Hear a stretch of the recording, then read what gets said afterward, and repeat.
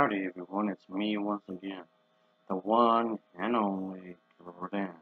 And today, as you can see, I'm still continuing my Disney movie marathon. So today, I'm going to be reviewing the animated short called Float. Yep, so it's on Disney Plus, folks. So I figured I would talk about this because I haven't reviewed an animated short in a little bit. So I guess why not, I suppose. And uh, Anyway, as usual, yes, I do have to talk about the plot, so let's get into it, shall we? So, we get to see that main character is a single father. Yes, he's from a different country and whatnot, and also, uh, his son is, well, different. Not exactly like the other kids.